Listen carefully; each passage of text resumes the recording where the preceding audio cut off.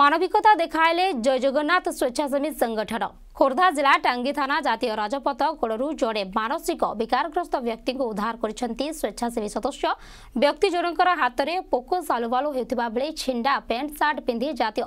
রাজপথ রাস্তা কড়ে রাতে পড়ে স্বেচ্ছাসেবী সংগঠন ব্যক্তি জনক উদ্ধার করে তা প্রথমে সফা করে গাধোই দিয়ে পরে খোর্ধা হসপিটালে উক্ত ব্যক্তি প্রাথমিক চিকিৎসা করা জনাপড়ছে খবর পাই এই সময় টাঙ্গি পুলিশ পৌঁছি সহযোগ করেছেন అంతే